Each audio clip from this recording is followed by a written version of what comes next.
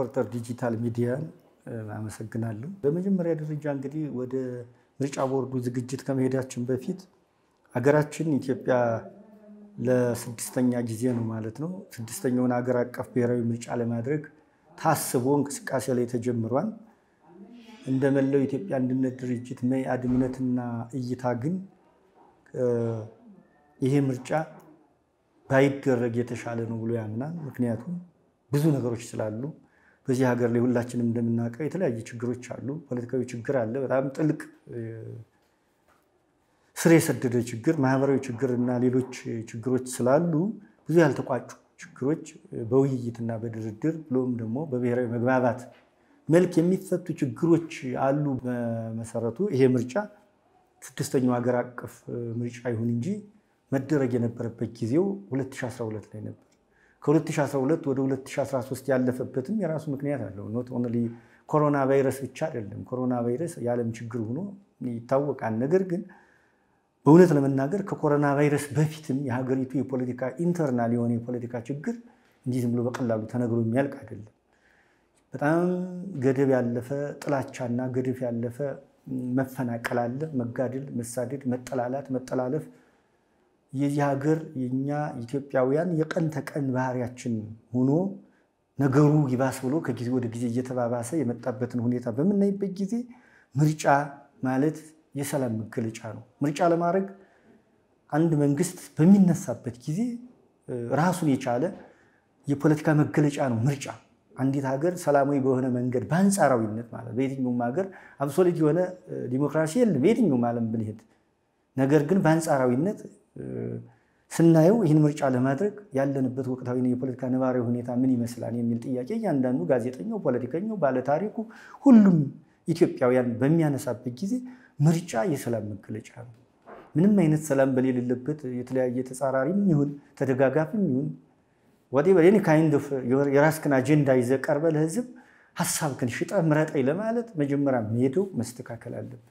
ሜዳው ሜዳው የመወዳደሪያ ሜዳው ተወዳዳሪዎች ሜዳ ላይ ወጥተው መፎካከር፣ ሀሳባቸውን መሸጥ፣ ማደራጀት፣ ማኒፌስቷቸውንና ፕሮግራማቸውን ይመርጠናል ለሚሉት ማህበረሰብና ህዝብ መንገር በማይችሉበት ሁኔታ ስለ ምርጫ መናገርና ስለ ምርጫ እንቅስቃሴ ማድረግ ፌዝ ነው፣ ቀልድ ነው ብሎ መኢአድ የሚያምነው በዚህ ነው። ለዚህ ነው እንግዲህ እንደሚታወቀው ብሔራዊ ምርጫ ቦርድ ላለፉት 27 ዓመታት ምን እንደነበረ ኢትዮጵያውያን እናውቀዋለን። አምስተኛው ምርጫ አምስት ጊዜ የተደረገው ምርጫ ኮታንኮት ምርጫ ምን እንደነበረ ይታወቃል። ቅርጫ ነው የነበረው፣ selection ነው የነበረው። ስለዚህ ይህን ታሳቢ ስናደርገው አሁን ግን በትንሹም ቢሆን በኢትዮጵያውያን መስዋዕትነት ያ ስርዓት ያው ጊዜውን አልፎ ወደማይቀረው ውድቀቱ ሂዷል። ከዚያ በኋላ የመጣው የፖለቲካ ኃይልም ያን ነገር ለማስተካከል የሚሄድበትን መንገድ በጽኑ ስናየው ጥያቄ ውስጥ የሚገባ ነው። ለዚህ ነው ምርጫ ቦርድ of course እንደ ድርጅት እንደ አንድ መንግስታዊ ገለልተኛ ተቋም ማድረግ የሚገባውን ነገር ከሞላ ጎደል እንደ መኢአድ ከሞላ ጎደል ፍላጎትም አለው commitment ም ሊኖረው ይችላል። አቅም ግን የለውም ብሎ ያምናል። ፍላጎትና አቅም ይለያያሉ። አቅም እያለህ ፍላጎት ከሌለህ፣ ፍላጎት እያለህ አቅም ከሌለህ ስራዎችን መስራት አትችልም። ለዚህ ነው specially በአሁኑ ሰዓት ቦርዱን የሚመሩት አንዳንድ ከፍተኛ የቦርዱ አመራሮች እንደሚታወቀው በኢትዮጵያ የፖለቲካ ታሪክ ውስጥ የራሳቸውን አሻራ ያሳረፉ በግለሰብ ደረጃ አሉ እዚያ ቦርድ ውስጥ እውነትን ለመግለጽ። ስለዚህ እነዚህ መሪዎች እውነተኛ distorted የሆነና ልክ እንደ ትላንቱ የማስመሰያ ምርጫ ይሆናል እንዲደረግ ይፈልጋሉ ብለን አናምንም። ነገር ግን ይችላሉ ወይ ነው ትልቁ ጥያቄ። ይቻላል ወይ? በአሁኑ ሰዓት ይቻላል ወይ? መኢአድ ሆሮ ጉድሩ ሂዶ ቅስቀሳ ማድረግ ይችላል ወይ? ቄለም ወለጋ ሂዶ መቀስቀስ ይችላል ወይ? ደቡብ ውስጥ ሂዶ መቀስቀስ ይችላል? ሰገን ህዝቦች ጉማይዴ አካባቢ መንቀሳቀስ ይቻላል ወይ? በአሁኑ ሰዓት መንግስት ይችላል ወይ? የመንግስት ተፈጥሯዊ ባህሪው በመጀመሪያ ደረጃ ምንድን ነው? primary responsibility የዜጎችን ሰላም ማስጠበቅ ነው። ዜጎች ወጥተው ገብተው እንዲኖሩ በሰላም የማድረግ የታሪክ ተጠያቂነት፣ የህግ ተጠያቂነት፣ የሞራል ተጠያቂነት ኃላፊነት ብቻ አይደለም። የመንግስት ኃላፊነት ብቻ ሳይሆን ግዴታ አለበት፣ የህገ መንግስታዊ ግዴታ።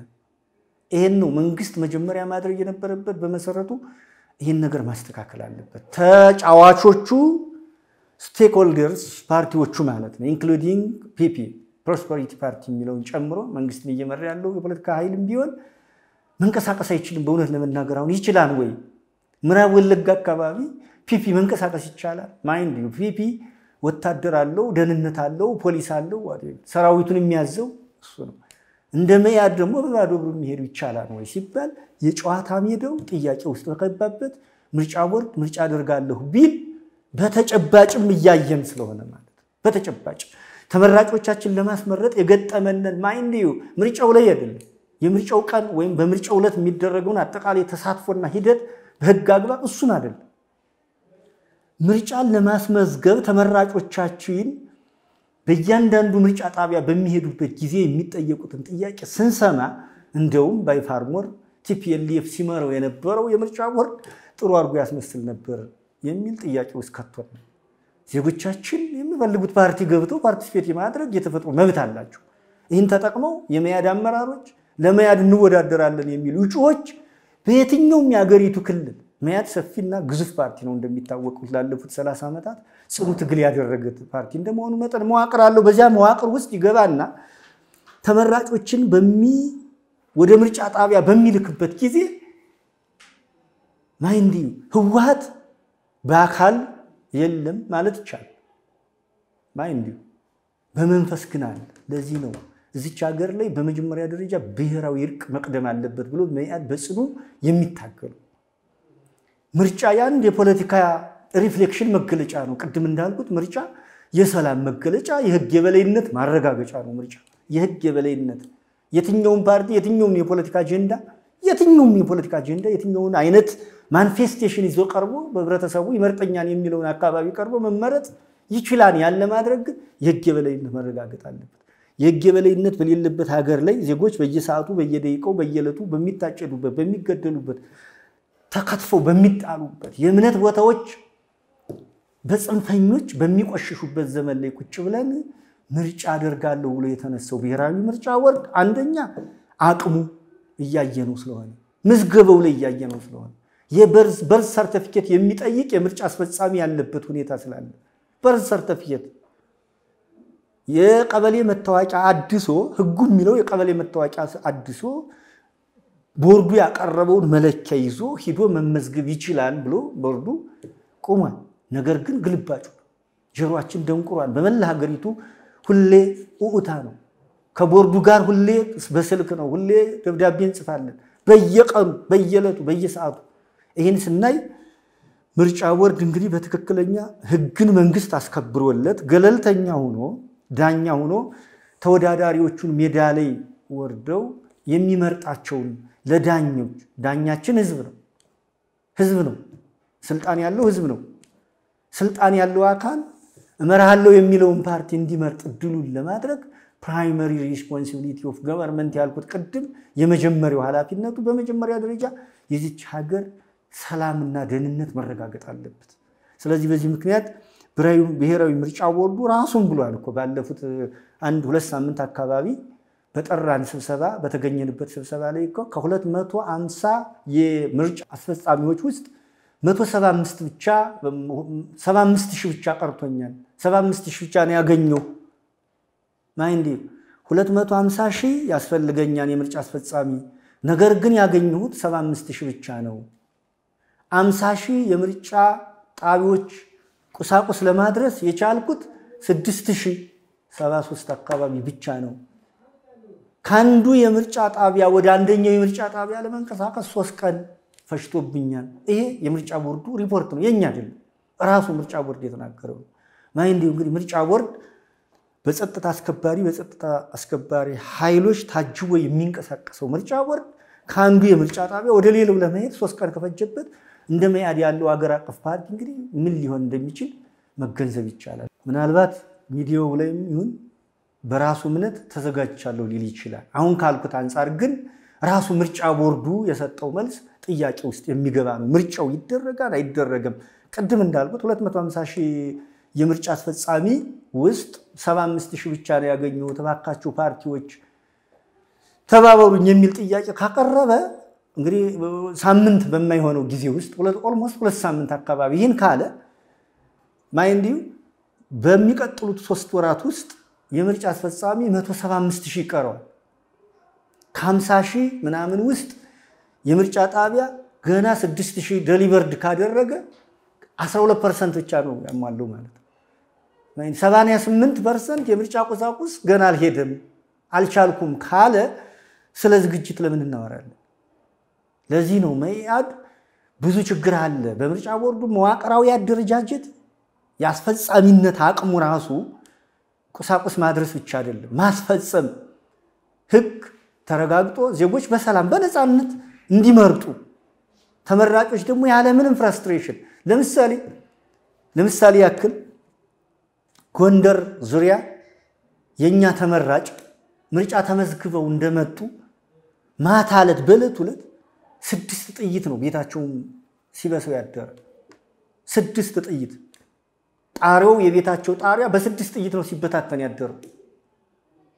ለዚህ ነው መንግስት ይችላል ወይ ኖት ምርጫ ቦርድ መንግስት ይችላል ወይ ህግን የማስከበር ብሎ ጥያቄ ሲነሳ የምርጫ ቦርዱ በሀሳብና በአጀንዳ ደረጃ እችላለሁ ሊል ይችላል። ግን በተጨባጭ መሬት ላይ ባለውና አሁን ሆነ ባለው ሁኔታ ላይ አይችልም ነው እያልን ያለ ነው።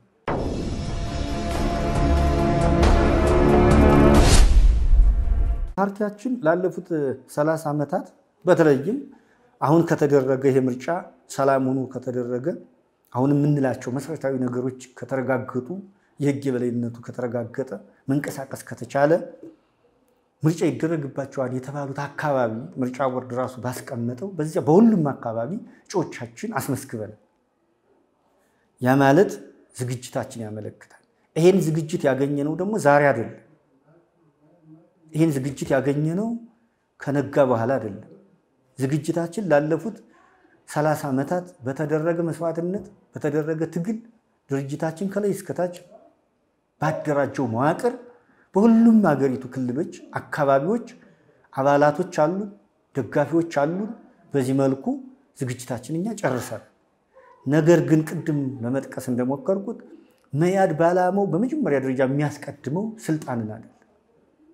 የሚያስቀድመው የፖለቲካ ትርፍ ለማግኘት አይደለም። ቅድሚያ የዚች ሀገር የህልውና ሁኔታ የዚች ሀገር ቀጣይ አገራዊ ህልውና ሁኔታ እጅግ ያሳስበዋል። ለዚህ ነው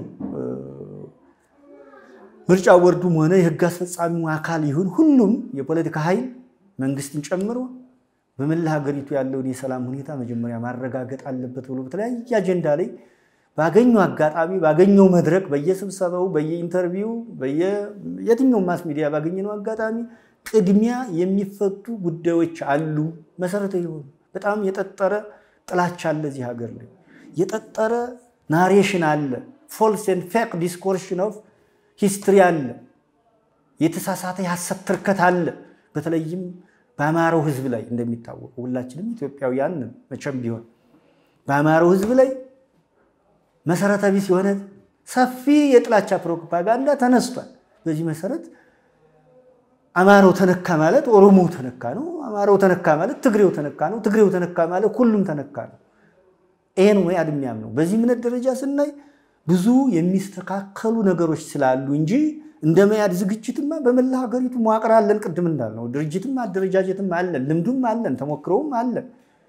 ምንም ቢሆን ይሄ በዘመነ ህወሓት ሲደረግ የነበረውን አምስቱንም ጊዜ ምርጫ ተሳትፈናል በሙሉ ማለት ነው። ያው ነጣቂና የተመረጠው ቀርቶ ያልተመረጠው ቤተመንግስት የተመረጠው ደግሞ ወደ እንደሚታወቀው ወደ የሚሄድበት ይሄድ ነበር እንጂ ታሪካችን የሚያሳየው ምርጫዎችን አድርጓን። ስለዚህ ልምድና ብቃት አለን ማለት ነው እና እንዲያዝልን የምንፈልገው በመላ ሀገሪቱ መዋቅር አለን። መመረጥ እንችላለን፣ መምረጥ እንችላለን፣ ማስመረጥ እንችላለን፣ መቀስቀስ እንችላለን። በመሰረቱ ቅስቀሳ የማያስፈልገው መኢአድ በእያንዳንዱ ኢትዮጵያዊ ልብና ሕሊና ውስጥ ያለ ፓርቲ ነው። because በደም የቆመ ፓርቲ ስለሆነ because ከፍተኛ መስዋዕትነት የተከፈለበት ድርጅት ስለሆነ አሁንም ቢሆን እጅግ አብሪ የሆኑ መሪዎቹ በጽናትና በትግል ያለፉ መሪዎቹ ግንባር ላይ ሆነው እየመሩት ያለው ድርጅት ስለሆነ ዝም ብሎ ኮሽ ባለ ቁጥር ወደ ምዕራቡ ዓለም ማንጋጠጥ ሳይሆን የሚመጣውንም የትኛውም ችግር ሊጋፈጡ የሚችሉ መሪዎች ግንባር ላይ ስላሉ መያድ በጽኑ የቆመ ድርጅት ነው። ያን ያክል ጩኸትም አያስፈልገውም። ያን ያክል ቅስቀሳ አያስፈልገውም። በመሰረቱ ቅስቀሳውንም ጀምረናል። በየትኛውም መንገድ በየትኛውም አጋጣሚ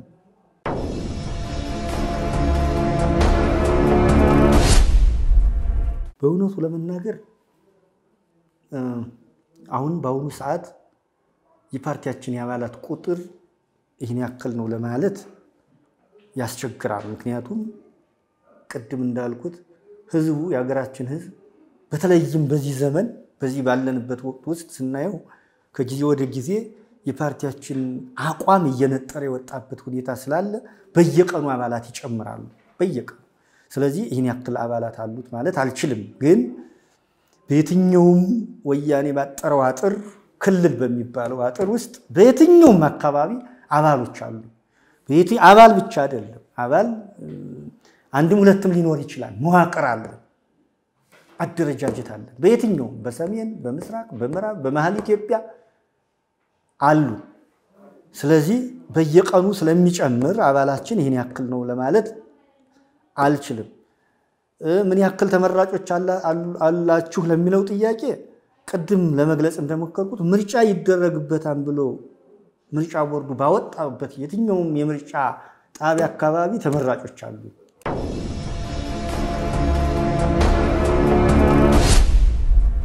ይሄ ወሳኝና በጣም ኮንክሪት የሆነ ጥያቄ ነው። በእውነቱ ብዙ ነገሮችን በውስጡ አካቶ ስለሚይዝ ማለት ነው።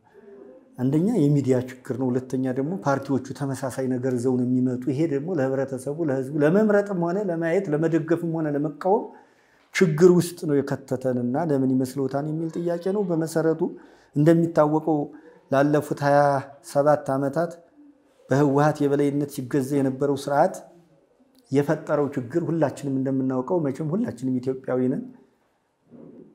በዚች ሀገር ኮሮጆ ይዛ ዓለምን የምትለምን ድሃ ሀገር ላይ መቶ አስር ፓርቲዎች ነበሩ። መቶ አስር ፓርቲዎች mind እነዚህ ፓርቲዎች ግን really ፓርቲ ነበሩ ወይ ስንል በእኛ እምነት አንዳንዶቹ ሶስት ነገሮችን ይዘው የሚንቀሳቀሱ ነበሩ። ሰውየው ማህተሙና አንዲት እቺ ምንድነች የአስክሬን ሳጥን የምታክል ኮንቴነር ቢሮ ተብላ እሷን ይይዙ ነበር። አንዳንዶቹ ደግሞ ሰውየውና ማህተሙ ብቻ mind you ሰውየው ማህተሙ ግን ፓርቲ ነበር። እነዚህን ጨምሮ አንድ መቶ አስር ፓርቲዎች ነበሩ ማለት ነው። እንግዲህ በዚህ ሀገር ላይ አንደኛ ባለን የፖለቲካ አስተሳሰብ እና የ intelligent level ላይ ስናየው የመለየት አቅማችን የመቶ አስር ፓርቲ ርዕዮተ ዓለም የመቶ አስር ፓርቲ ማኒፌስቶ ፕሮግራም ለመለየት ቁጥሩ ማዳጋች። ወደ አሁኑ ዘመን በምንመጣበት ጊዜ ደግሞ በተቻለ መጠን አሁን ምርጫ ቦርዱ የወሰደው አንዳንድ ተገቢም ባይሆን የመጣበት አካሄዱ ተገቢም ባይሆን ወደ አምሳ ምናምን አድርሷቸዋል። ባልሳሳት 49 ፓርቲዎች ነው አሁን የሚወዳደሩ ስድስተኛውን ሀገር አቀፍ ምርጫ ይኖርም አይኖርም ይወዳደራሉ ተብሎ የተሰጠን 49 ፓርቲዎች ነው። mind still 49 ፓርቲ ለውድድር ይቀርባል ማለት ነው። Western world ወይም እነዚህ ምዕራባውያኖችን በምናይበት ጊዜ በተለይ የዲሞክራሲ ባህላቸው በጣም ያደገና የሕግ የበላይነት የተረጋገጠበት የሰው ልጅ ሰብአዊ መብቱ ፍጹም የተከበረበት ዓለም አለ የሚባልበት አሜሪካ ሳይቀር አምስት ፓርቲዎች ናቸው። እኔ የ political science ተማሪ ስለሆንኩ ነው። አምስት ፓርቲዎች participant አሉ። ነገር ግን ለውድድር የሚቀርቡ ሁሌ እንደምናውቀው ሁለት ፓርቲዎች ናቸው። the Republican ና Democrat የሚባሉ ሁለት ተጫዋቾች ይቀርባሉ። ይሄ ራሱን የቻለ ምክንያት አለው። የሚጠቅም ቢሆን ኑሮ አሜሪካ በህዝቧ ቁጥር ልክ ፓርቲ ይኖር ነበር። ስለማይጠቅም ነው ማስመሰል ያልኩት ለዚህ ነው። ቅድም 27ቱ ዓመት ሁሉም ነገር የማስመሰል ዘመን ነበረ። ለዚህ ያ ዘመን የፈጠረውና የዚያ ዘመን reflection ውጤት የሆነው በዚህ ዘመንም አሁን ሊቋጭ አልቻለም። በዚህ መሰረት ተመሳሳይ ፕሮግራም፣ ተመሳሳይ ርዕዮተ ዓለም፣ ተመሳሳይ ጩኸት አለ። እንደ መኢአድ ያለ ጠንካራ አንጋፋ ፓርቲ እኛ ስለምንማረው እኛ አባል ስለሆንበት አይደለም። ብዙ ጀግኖችን ትንቅንቅ የከፈሉበት እነ ክቡር ፕሮፌሰር አስራት ወልደየስን መስዋዕት የሆኑበት እነ ክቡር ኢንጂነር ኃይሉ ሻውል ህይወታቸውን ያጡበት የአሁኑ መሪ ቢሆኑ አቶ ማሙሸት አማረ ቆዳቸው የተገለበጠበት በአሲድ ዋጋ ተከፍሎበታል። አማረሽ ገላኔ በሰላሳ ጥይት ከነ ልጆቿ የተጠበሰችበት ፓርቲ ነው። ዝም ብሎ በጩኸት ቅድም እንዳልኩት በሆሆታ በፉከራና በመድረክ ዘፈን በማጨብጨብና በመሞሸር የሚሆን ነገር አይደለም። መኢአድ ይዞት የተነሳው ጽኑ ዓላማ ጫፍ ይደርሳል። ለዚህ ነው ቅድም ፓርቲው በየትኛውም የሀገሪቱ ክልል ተመራጮችም አባልም መዋቅርም አለው። ለዚህ ከመኢአድ እየወጡ ው X የተባለ Y የተባለ ፓርቲ ይህን ፕሮግራም ይዘን ምናምን ይላሉ። ቁጥሩን የጨመሩት ለዚህ ነው። ህዝባችንም የተቸገረው ለመምረጥም ለማየትም ለመስማትም ተቸግሯል ህዝባችን እና ሌላው ሚዲያ ችግር ገጥሞናል። በእውነት ለመናገር ሚዲያ በተለይ ጋዜጠኞች በሬ ወለደ የሚል ሀሳብ ይሰጣሉ፣ ይጽፋሉ፣ ይናገራሉ።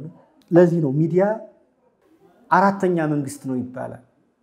በበለጸገውና የህግ የበላይነት በተረጋገጠበት ሀገር ላይ ሚዲያ ማለት አራተኛ መንግስት ነው ይባላል። በእኛ ሀገር ስንመጣ ግን ሚዲያዎች በተለይም የመንግስት ሚዲያዎች አለቆቻቸው ምን አሉ ምን ይሉኛን ከማለት ውጭ እውነትን፣ ኃላፊነታቸውን፣ የተቋቋሙበትን ዓላማ፣ ሙያቸውን፣ ሙያዊ ስነምግባራቸውን ሲወጡ አናይም። ሚዲያው የፈጠረው ችግር ይሄ ነው። distortion ፈጥሯል። ለፖለቲካው ከፍተኛ የሆነ ተጽዕኖ አድርጓል። ለትግሉም እንደዚሁ ዲሞክራሲን ለማምጣት ለሚደረገው ወሳኝ ፍልሚያም ትልቁ ችግር ሚዲያዎቹ የሚፈጥሩ ችግር ነው። ሚዲያዎች የሚያነፈንፉት ሌላ ነገር ነው። በአሁኑ ሰዓት ሁለት ነገር ያነፈንፋሉ። አንደኛው አለቆቻቸው የሚሰጧቸውን ክብር፣ ሌላው ደግሞ ኪሳቸው የሚያብጥበትን ሁኔታ እናያለን እና ሚዲያ ትልቅ ችግር ፈጥሮ ያየዋን መያድ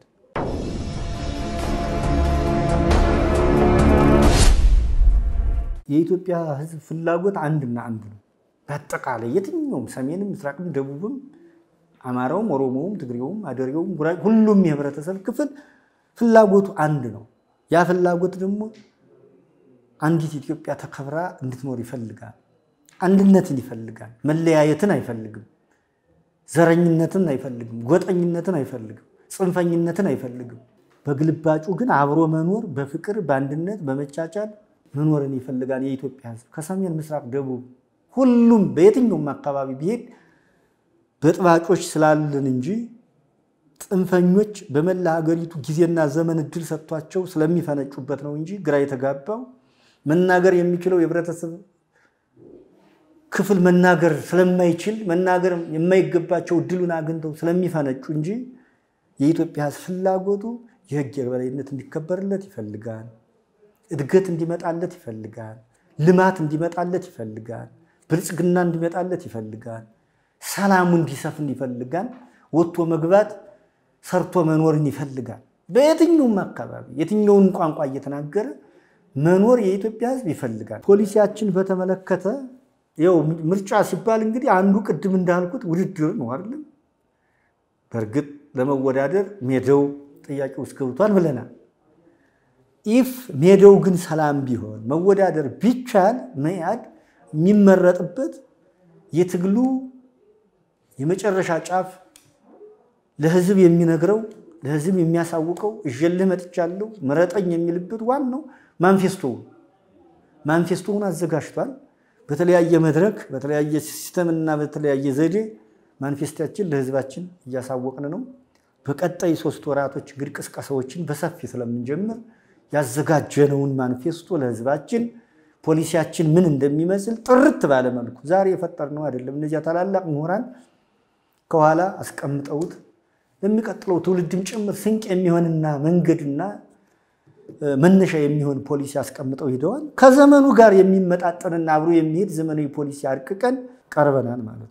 ይህን ፖሊሲያችን እንግዲህ ቅድም እንዳልኩት መንግስት ህጋዊ ስርዓቱን ማሳዝና ማረጋገጥ ከቻለ በየትኛው መንገድ መንቀሳቀስ የምንችል ከሆነ ከመያድ የበለጠ ፖሊሲ በዚች ሀገር አንጥሮ ፈጭቶ አብክቶ ሰንቆ የመጣ ፓርቲ የለም። ስለዚህ ፖሊሲያችን አለን። ያን ፖሊሲ ጀምረናል ማስተዋወቅ በመሬት ላይ፣ በውጭ ጉዳይ ላይ፣ በትምህርት ላይ፣ በፎሪን ፖሊሲ ላይ፣ በትምህርት ስርዓቱ ላይ፣ በመሬት አጠቃቀሙ ላይ፣ በህገ መንግስቱ ላይ፣ በመንግስት አወቃቀር ላይ በዚህን የብሔር ፖለቲካን መሰረት ባደረገ የፖለቲካ ግጭት እንዴት መፈታት እንዳለበት ቁልፍ የሆነ political ፖሊሲ አዘጋጅተን እንቅስቃሴ ጀምረናል። ስለዚህ ፖሊሲ ተዘጋጅቷል። ያ ፖሊሲ የሚገለጸው በማኒፌስቶ ነው። ማኒፌስቷችንን አርቅቀን ጨርሰናል። መበተን ጀምረናል። መንገድ ጀምረናል። ይኸው ህዝቡ እንግዲህ ሰላም ከሆነ ይመርጠናል ብለን ተስፋ እናደርጋለን።